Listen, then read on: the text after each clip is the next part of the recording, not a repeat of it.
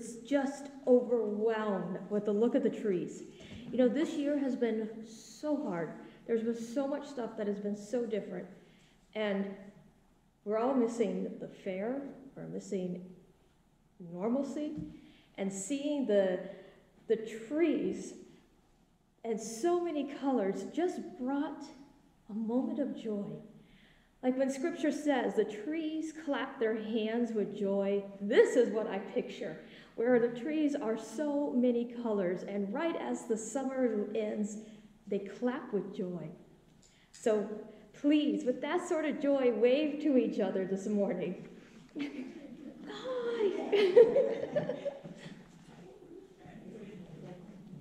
I have more joyful announcements to you. We got an update on the food pantry. If you remember, Trace challenged us to raise $2,000 this year. We beat it. Way beat it. We are now at $2,900 for the food pantry. That is insane. So thank you so much. And the year's not even over, so kudos. And we don't even know how many pounds of food. Thank you, Norma, so much for taking this over for us and helping out with them. And you know, this has been the year people have needed help. So thank you. We way beat it. Uh, speaking of food, Hans has brought us lots of good food on the way out. Help yourself to green tomatoes so you can go fry some, and gourds, and a little bit of red tomatoes. Are There any other announcements? Well, please rise as you feel comfortable in doing and join me in the call to worship.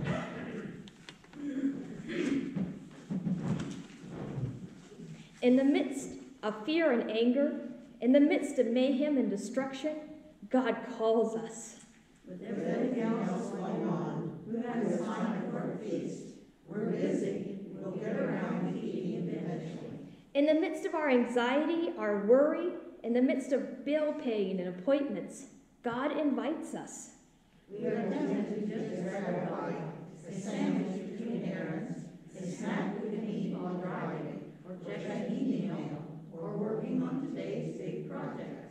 The feast is spread. All are welcome. All are welcome. We are invited. We are welcome. We are worthy. How will we respond? Join me in our responding hymn.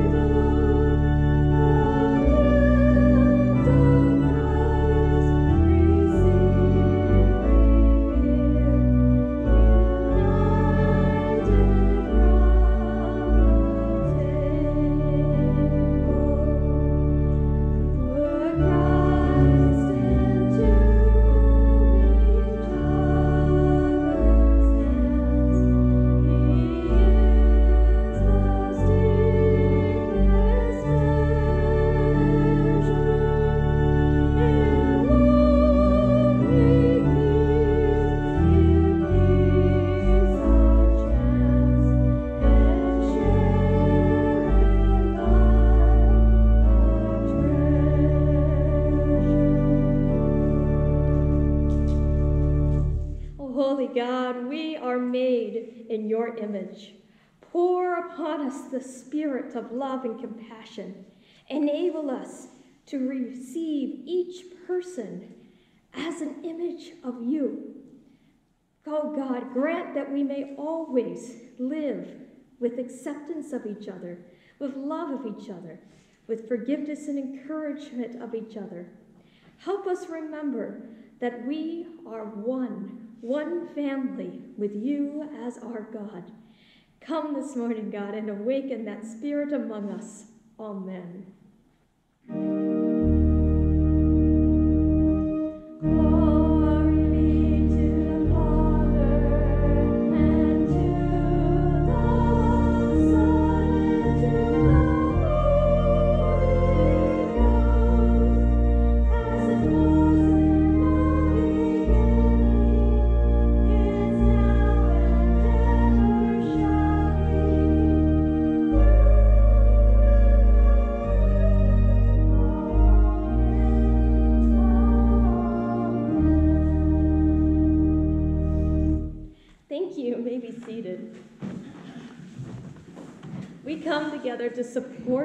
Each other, to pray for each other, all joys and all concerns.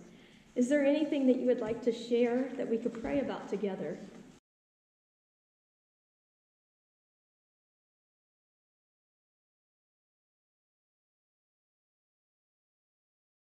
We know you hear all prayers, every single one you cherish. And so we pray today in the name of Christ, who came and taught us this specific prayer, saying, Our Father, who art in heaven, hallowed be thy name. Thy kingdom come, thy will be done, on earth as it is in heaven. Give us this day our daily bread, and forgive us our debts, as we forgive our debtors. And lead us not to temptation, and deliver us from evil. For thine is the kingdom and the power and glory forever. Amen. We come to our time of tithes and offerings where we remember that we are bringing to God and God's service a bit of all that God has given us. So please, as you feel comfortable, rise and dedicate your prayers and times and offerings to God.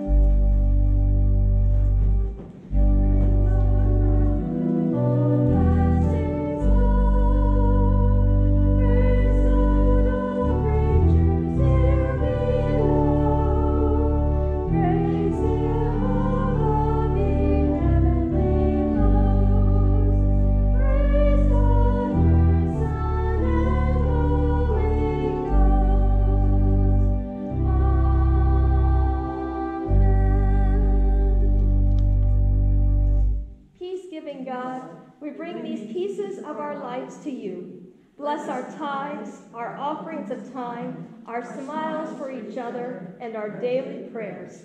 Let us stand firm in you. Amen. Thank you. Would you join me in our next hymn?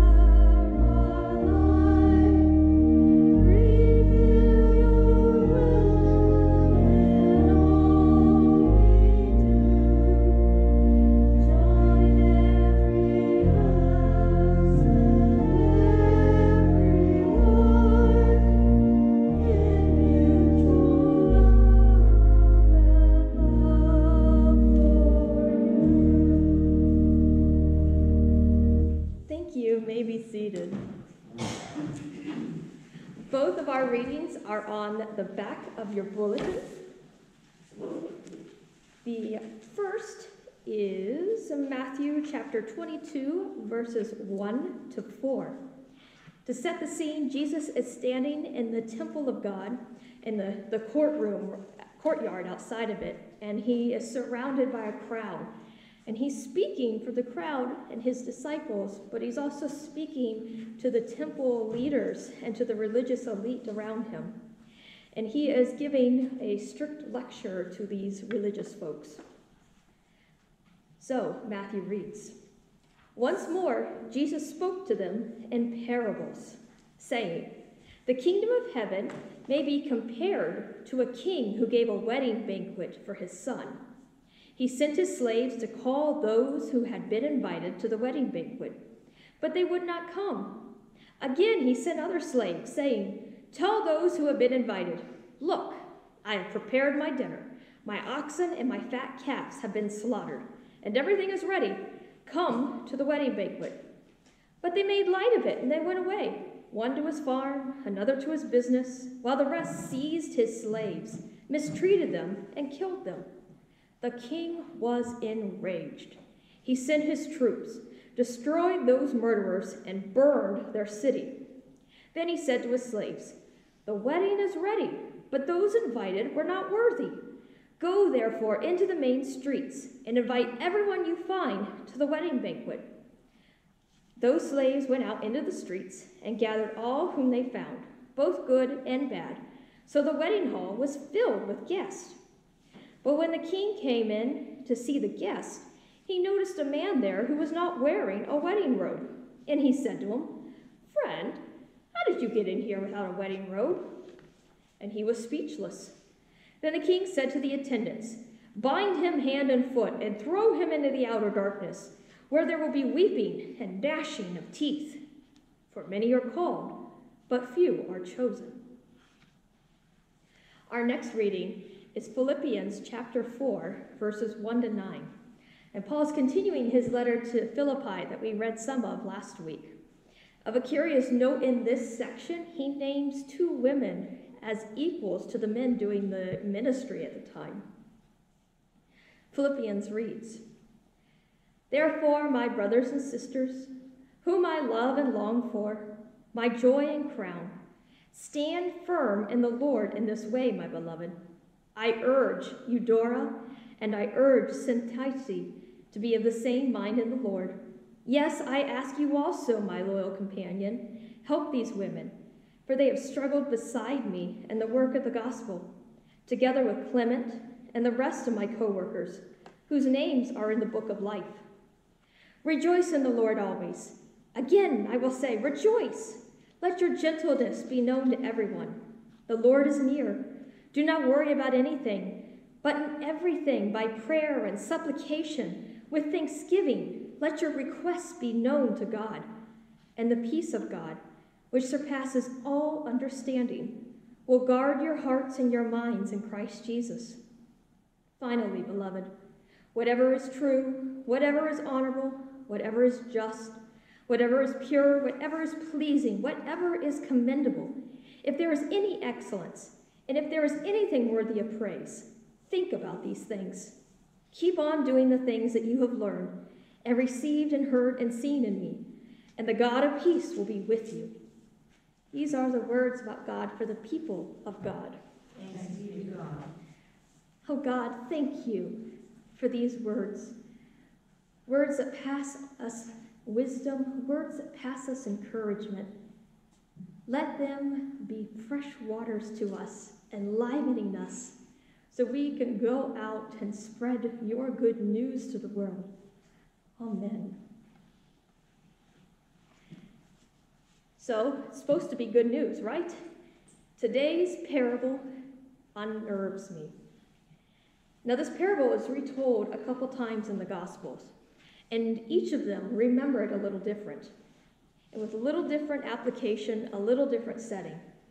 And neither one of the Gospels is right or wrong, because parables are stories Jesus told that make us think. And when we retell them, we reflect what we were thinking about at the time. They're like kaleidoscopes where you can turn them again and again and get new insight.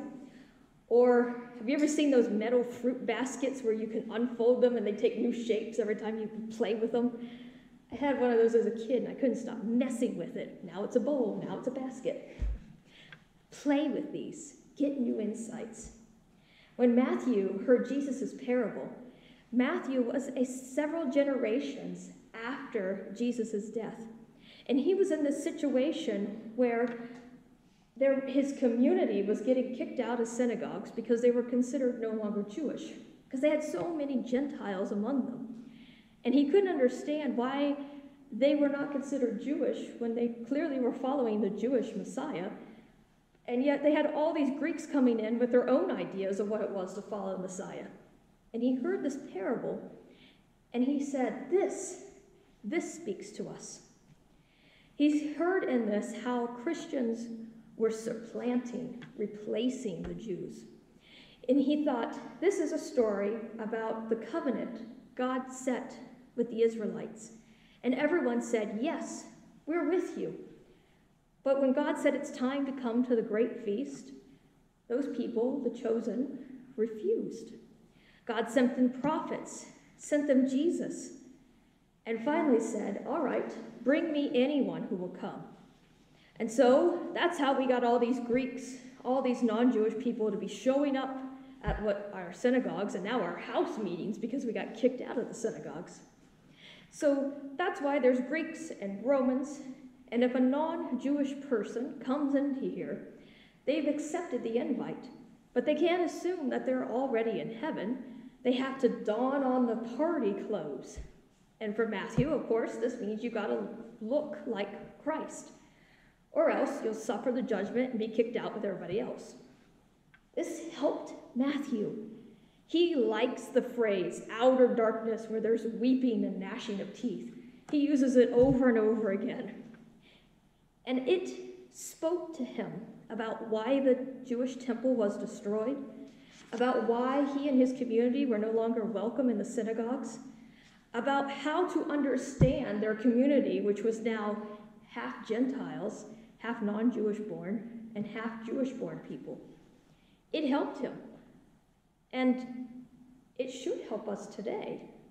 But we are not in the same situation. We're not a minority seeking authority. We are not brand new Christians. We weren't born in polytheist communities, communities where our parents and us worship many different gods at one time.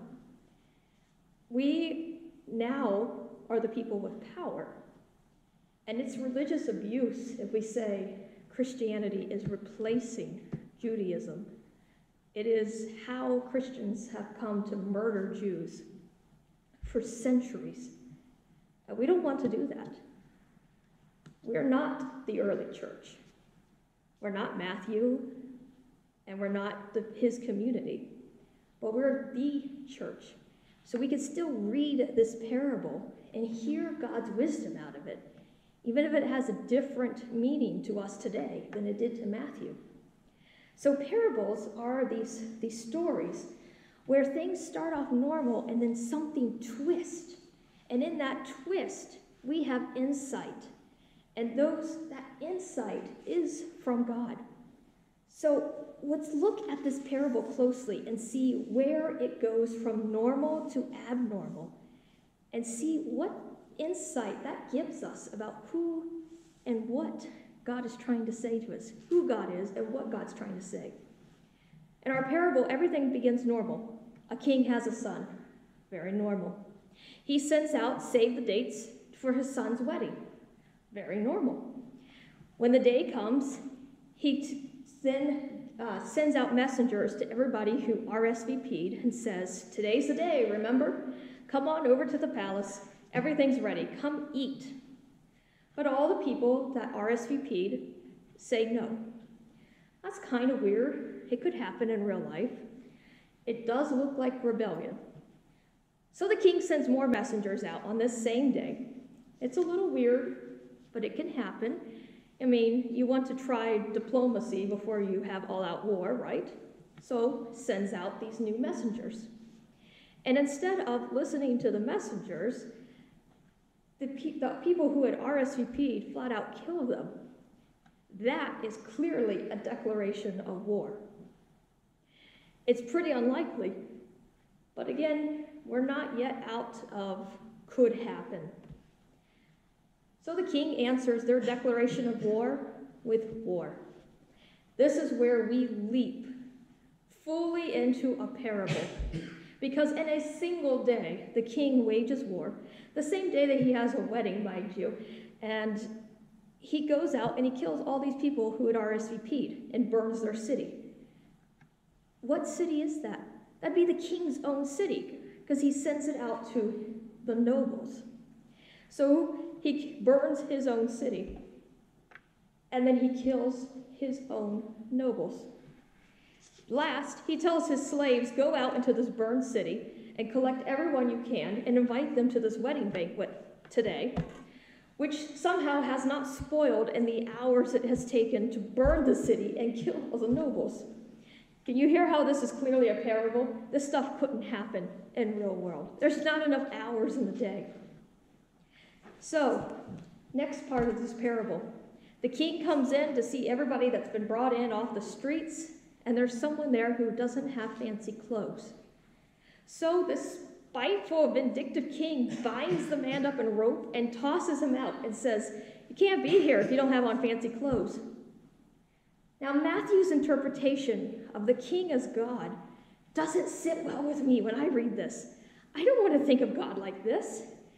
I don't want a Savior who is so full of spite and malice that the Savior is good for killing all these nobles and burning the city. I don't want to think God throws open heaven and invites everybody in and then goes through and throws out those who don't fit, those without the garb of Christ, those without enough good deeds to their name. No, I listen to Scripture and I hear God who is merciful and who gives chance after chance. So to me, this parable needs flipped, played with like a kaleidoscope, not changing it, but just seeing what other images can appear as you keep turning it. First, the name. Normally, this is called the parable of the great feast. Well, Jesus and Matthew both did not name this parable, monks did. Monks, sometime uh, a thousand years after they, these parables were wrote down. You see, when you are transcribing things, copying them from one book to another, it gets confusing sometimes. So they wrote down numbers to give things verses. That's how we got our verses. They added chapters, they added titles, they even added our punctuation because originally there was no punctuation in our scripture. All of that has been added over time to make it more accessible. But that also means it changes how we interpret what we're looking at. We can make up our own title for this. What would you call this parable? What do you think is the most important part of it? Second, what about these clothes? St. Augustine read this about 500 AD, and he was disturbed also. Augustine is one of our church fathers, and when he looked at this, he said, okay, if the king is God, then we have to imagine that the clothes were provided for all the guests. So that when the king, God, comes to the person who has, hasn't the wedding clothes on and says, Why are you in street clothes?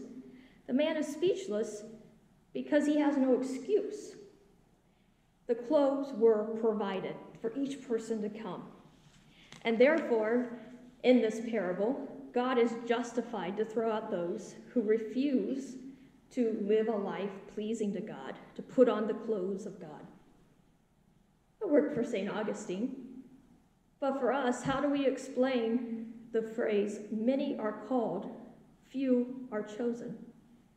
In the story, everyone ends up getting called.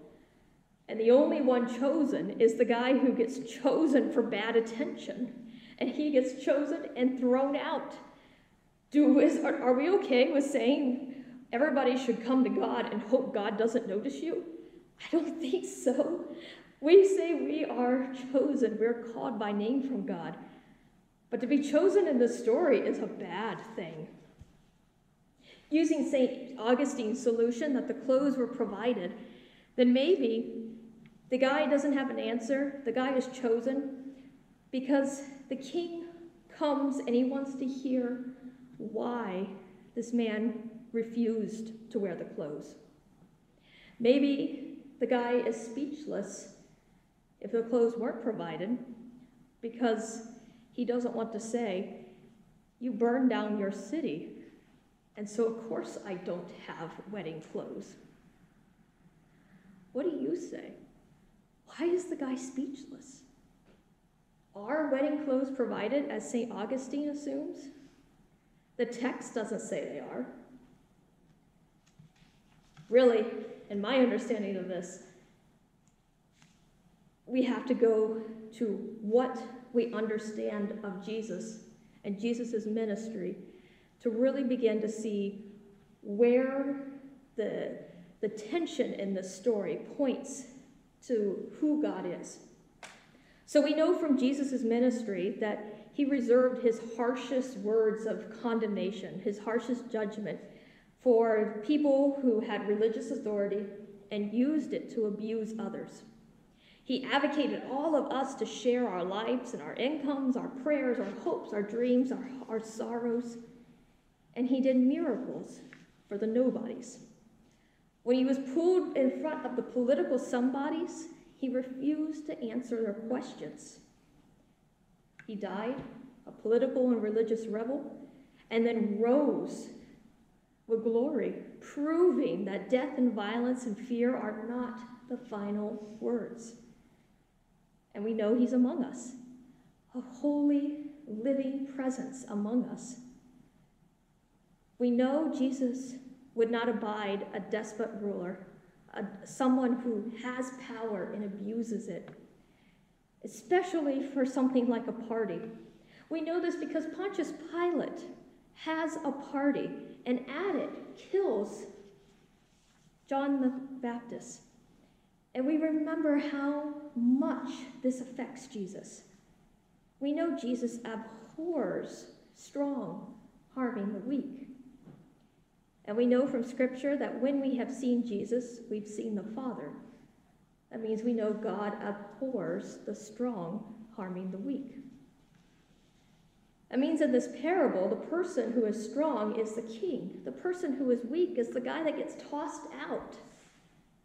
It means that if Jesus is anywhere in this parable, Jesus is the man who refuses to put on the garb of that murderous king, even when that means he's risking his life. Because remember, the king just murdered like half the town.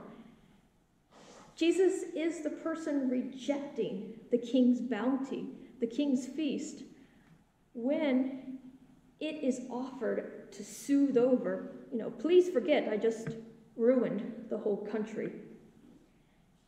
He stands there without an answer, just as later he does with Pontius Pilate. And then he's tossed out into the outer darkness, where the king thinks there'll be weeping and gnashing of teeth.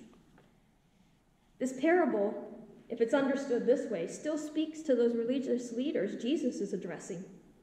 They were saying that their faith is open for all there, but then, if you remember, they have destroyed the Samaritan places for worshiping God and are forcing the Samaritans to come into Jerusalem to worship. They claim their faith is open to all and then toss out those who are too poor. Jesus is chastising them and saying that truly a great banquet wouldn't toss out anyone. If I were to label this parable, it would be the parable of the despot who missed Christ. To me, it's a warning for our churches and for the synagogues that Jesus knew that we have to welcome even those who don't fit what we anticipate a, a good congregation member would look like. It's a warning to individuals chastising us that God comes to us in strangers who maybe not have great clothes, who maybe don't fit, and telling us that that is where we find Christ, chastising us not to chase after earthly glory and to find Jesus in the least among us. When we read Paul, he says, Let your gentleness be known to everyone. Be of the same mind in the Lord. Whatever is true, whatever is honorable, whatever is just, whatever is pure, whatever is pleasing, whatever is commendable, if there's any excellence, if there's anything worthy of praise, think about these things. And the peace of God that surpasses all understanding will guard your hearts and minds. True, honorable, just, pure, pleasing, commendable, praiseworthy, gentle, and unity. From these comes peace that surpasses understanding. I hear and hear the promise that when we refuse to honor darkness, when we refuse to give power to those who are harming the weak, we find true peace. And that even in the midst of supposed weeping and washing of teeth, God is there saying, Thank you. Thank you for donning on the clothes of Christ and not the clothes of any earthly leader. Thank you for standing with the least. Thank you for remembering I'm the God who gives refuge to the poor, refuge to the needy, shelter in the rainstorm, and shade from the heat. It's a peace knowing that God is with us, knows how hard it is to be human, and loves us still, is not rejecting us. It's the peace of the last word that is love. That's my interpretation of this parable. I really hope you have one too. And it can be uh, similar or completely different because they don't nix out each other. It's the same parable. It's just different turns of the kaleidoscope to see different insights from our most loving God. Amen. Would you join me in our closing hymn?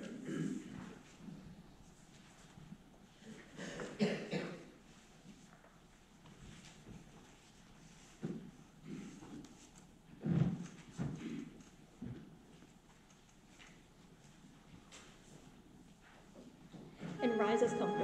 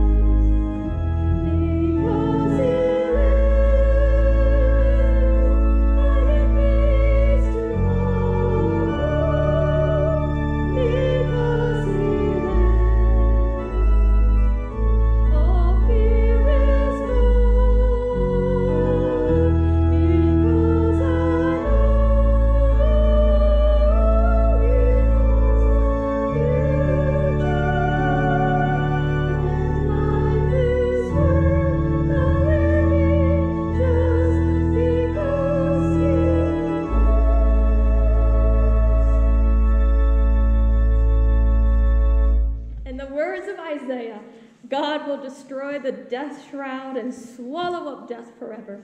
God personally will wipe away our tears. God saves. God abides. God loves. So go out and rejoice in this God who never gives up on you. Amen. Yes. We forgot about the new baby. Oh, a new baby. Tell us. Oh, Jeff's daughter had a little girl last Monday, Good. So they're grandparents. Yay, congratulations. Five pound and seven ounces. Five pounds, seven ounces. What's this little girl's name? Well, I know. Aria, Aria. How beautiful. What Our song. Aria. Oh. Praise God for Aria. Yes. Thank you. What great joy to go home As on. soon as we hit the song, I, knew we had forgotten. Thank you.